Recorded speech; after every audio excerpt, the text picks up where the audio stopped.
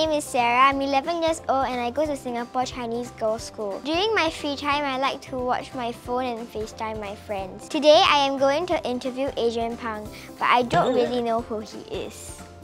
Your company's website says you're an artistic director. What is that? You are actually sitting in the um, rehearsal room of Pangdemonium, which is a theatre company that I run together with my boss. She's also my wife. That's why she's my boss. Her name is Tracy. In essence, the both of us uh, produce plays and musicals and we, we stage them. So as artistic director, we basically make decisions about what uh, kind of shows we want to produce, what kind of stories we want to tell, and why we want to tell them, and then we run uh, Pangdemonium as best we can just so that we can keep on producing, producing our shows. What does kindness mean to you? Wow. Very deep questions. Okay, okay, not so deep, not, not that deep. They're not that deep. They're great questions. I love them. Um, I think kindness is essentially just being sensitive to others' feelings, being compassionate about others' um, needs, and actually taking some action to make somebody's life, make somebody's day, or make somebody's just one moment in time a little bit better a little bit easier to bear. And it can take many, many forms. You know, you take from the simplest, simplest acts of courtesy to something that you invest in somebody else's life that just helps them live their life a little bit easier. Whose job is it to teach us to be kind? Our parents, our teachers? Well, I am a strong believer that it has to begin at home, it has to begin um, with parents. As a parent myself, it is absolutely my responsibility to try to impart and instill in my my two sons um, what I see as all the right values. And being kind is absolutely one of the most important things. Um, actually, you ask anybody what they would see as the number one factor, the number one quality in someone that they want to, say, spend the rest of their life with.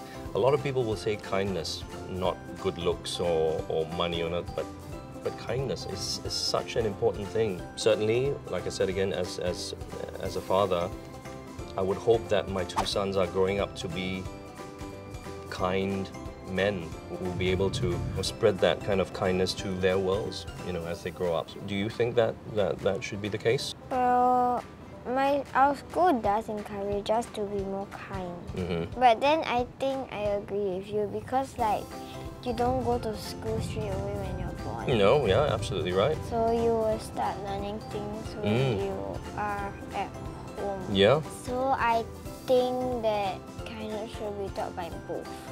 I think you're right. I'm only a few years younger than your children. What do you think is the biggest problem facing my generation? Oh my goodness, that's a very complex and deep question. I think I already know the answer. Really? Okay, do you want to tell me the answer then? We use our phones a lot.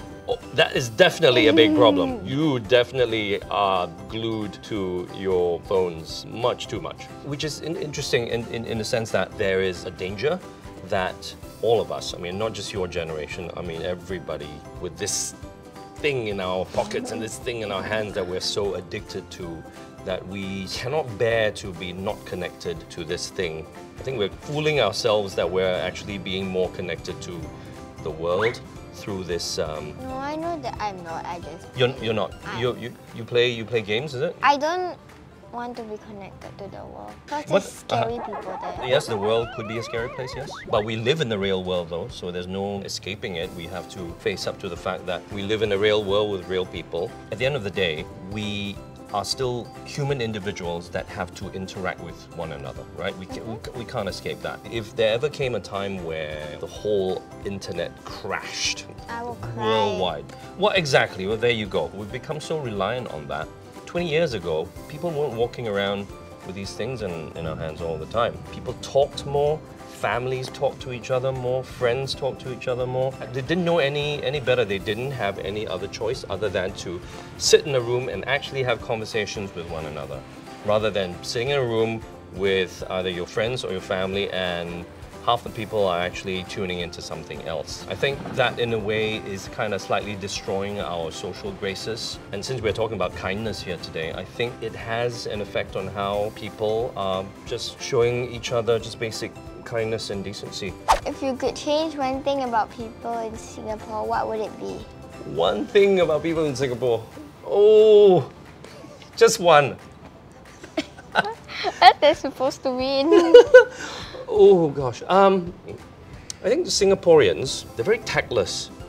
Be very straight. Yeah, very straight, as in very very blunt. Yeah, I'm very very tactless straight and. to my friends. Really? So you would you be one of those who, after the school holidays, you come back to school and say, "Wow, you put on so much weight." Yeah. Really? Like, but you know I'm joking. You know you're joking, okay? Because these people are not joking. The people, the guy who went up to me, "Wow, you age a lot." He was not joking.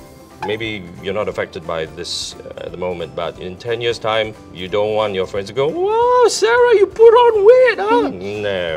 no. so, yes, I think Singaporeans can, can exercise a little bit of tact. That's a, a form of kindness, I think. It's 2017 now. Uh, the world has gone through a lot of changes in the last couple of years, and in the next few years, it's going to go through more changes. We live in a little bit of an unstable time in the world, and I think it's going to take every single human being to exercise compassion and kindness and sensitivity to, to one another, that we make sure that we don't kind of crumble to nothing. And I think living in Singapore, we can. Um, often feel that oh it's okay we're very safe here. But you know singapore you know is a small country. And um, i think we all have to be just mindful not just to protect ourselves but also mindful of what we can actually do to make somebody else's life or our community a better place to to live in. I think the easier option would be to go oh you know um, it's too scary I'm just going to keep to myself and look after myself. If everybody does that, our community will kind of fall apart. I think it takes everybody just being daring to make a first step and then keep on making those, those steps to touch each other's lives